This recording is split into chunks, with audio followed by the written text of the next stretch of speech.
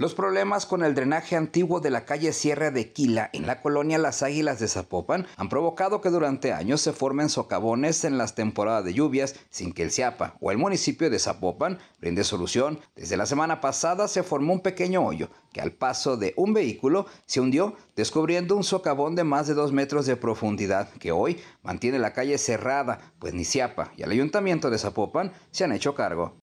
Bueno, este último socavón se hizo la semana pasada, aproximadamente yo creo que el jueves. Empezó el viernes, cayó un carro y se abrió más con las lluvias, ha estado lloviendo. Entonces vinieron los del CIAPA a querer reparar y cuando quieren reparar ven que es un, ya es más grande esto, se rompe el tubo, ahí está el tubo atrás en mi espalda, lo pueden ver.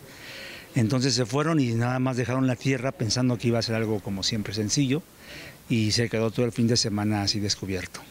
Dado que el problema con socavones es recurrente en la colonia, Oscar García ha buscado el apoyo del CIAPA y del municipio, pero estos se lanzan la responsabilidad y ninguno se ha hecho cargo del asunto.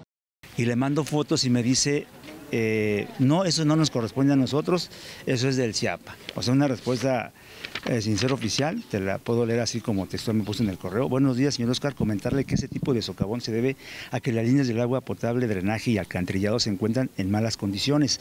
Esas redes se encuentran a cargo del CIAPA. Les recomiendo que se haga un reporte a esa instancia para que se repare lo antes posible. Cuando usted ya había ido a Ciapa y le habían dicho que era del ayuntamiento. Sí, o sea, como me manda a la otra vez y yo voy en la F y me regresa a la A, sabiendo, o sea, como que yo me da a entender que ni siquiera ha visto o ni tiene ni siquiera nuestros oficios, que le dejamos Vecinos de la calle Sierra de Aquila y Sierra de Bolaños se dicen preocupados porque las lluvias no han terminado y sus hogares se pueden volver a inundar. Reconocen que el CIAPA reparará el socavón algún día, pero no dará una solución al problema del drenaje. Por ello, hacen nuevamente la petición para realizar una obra integral que ponga fin a este problema que tiene años. Con las imágenes de Juan Luis Hernández para UDGTV, Canal 44, Pablo Toledo López.